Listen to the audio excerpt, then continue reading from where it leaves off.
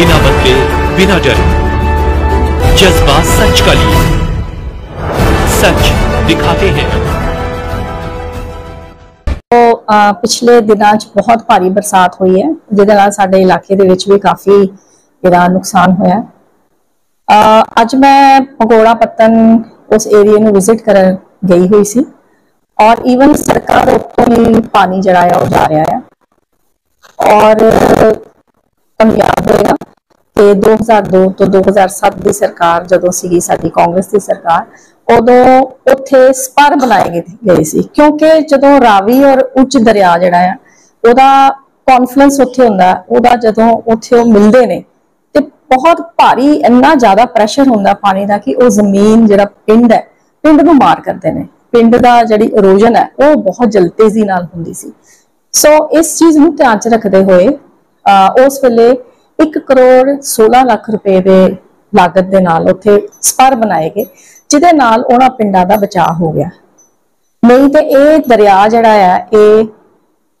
ਚੱਕਰਾਮ ਸਹਾਇ ਮਕੋੜਾ ਚਪਕਰਾ ਟਾਂਡੇ ਤੱਕ ਇਹ ਮਾਰ ਕਰਦਾ ਹੈ। ਸੋ ਇਸ ਕਰਕੇ ਉਦੋਂ ਤੇ ਕਰ ਦਿੱਤਾ ਗਿਆ, ਲੇਕਿਨ ਅੱਜ ਜਦੋਂ ਮੈਂ ਵਿਜ਼ਿਟ ਕਰਕੇ ਦੇਖਿਆ, ਤੇ ਇੰਨਾ ਜ਼ਿਆਦਾ ਪਾਣੀ ਆਣ ਕਰਕੇ ਜਿਹੜੇ ਸਪਰ ਬਣੇ ਸੀ, ਉਹਦਾ ਵੀ, ਉਹਦੀ ਥੱਲੇ ਪਾਣੀ ਦੇ ਪ੍ਰੈਸ਼ਰ ਦੇ ਨਾਲ ਉਹਨਾਂ ਦਾ ਬੇਸ ਹਿੱਲ ਗਿਆ। ਸੋ ਉਹਨਾਂ ਨੂੰ ਵੀ ਰਿਪੇਅਰ ਦੀ ਬਹੁਤ ਭਾਰੀ ਜ਼ਰੂਰਤ ਹੈ। ਸੋ ਮੈਂ ਸਰਕਾਰ ਨੂੰ ਵੀ ਇਹ ਰਿਕੁਐਸਟ ਕਰਾਂਗੀ ਕਿ ਜਲਦੀ ਤੋਂ ਜਲਦੀ ਉਹਦਾ ਐਸਟੀਮੇਟ ਲਗਾ ਕੇ ਉਹਨਾਂ ਦੀ ਰਿਪੇਅਰ ਕੀਤੀ ਜਾਵੇ ਤਾਂ ਕਿ ਜਿਹੜੀ ਪਿੰਡਾਂ ਦੇ ਵਿੱਚ ਕੋਈ ਜਾਨੀ ਤੇ ਮਾਲੀ ਨੁਕਸਾਨ ਨਾ ਹੋਵੇ ਸੋ ਇਸ ਕਰਕੇ ਅੱਜ ਮੈਂ ਖਾਸ ਤੌਰ ਤੇ ਲੋਕਾਂ ਨੂੰ ਵੀ ਮਿਲੀ ਹਾਂ ਔਰ ਬਹੁਤ ਬੁਰੀ ਹਾਲਤ ਹੈ। ਔਰ ਦੂਸਰਾ ਲਾਸਟ ਟਾਈਮ ਜਦੋਂ ਮੈਂ ਮੰਤਰੀ ਸੀ ਤੇ ਮੈਂ ਆਪਣੀ ਡਿਸਕ੍ਰਿਸ਼ਨਰੀ ਗ੍ਰਾਂਟ ਦੇ ਵਿੱਚੋਂ ਪੈਸੇ ਦੇ ਕੇ, ਕਿਉਂਕਿ ਬਰਸਾਤਾਂ ਦੇ ਵਿੱਚ ਉਹਨਾਂ ਦਾ ਲਿੰਕ ਆਪਸ ਵਿੱਚ ਟੁੱਟ ਜਾਂਦਾ ਆ, ਬਾਕੀ ਮੇਨਲੈਂਡ ਤੋਂ, ਉੱਥੇ ਕਿਸ਼ਤੀ